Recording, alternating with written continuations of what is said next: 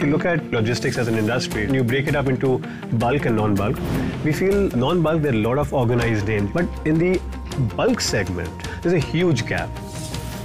When we're transporting steel coils, you're moving a 24, 25 ton material, one single unit. So it's you know it's a point load, heavy impact at one point on the trailer bed, and hence any small jerks can create havoc.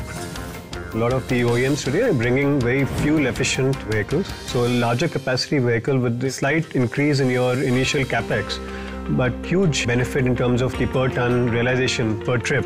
Mahindra Transport Excellence Awards identified key elements of the transport industry, namely the dhabas on the highways and the service mechanics. They got these drivers to recognize the performance of these dhaba walas.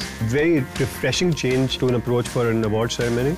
Mahindra Transport Excellence Awards. Rush your entry today.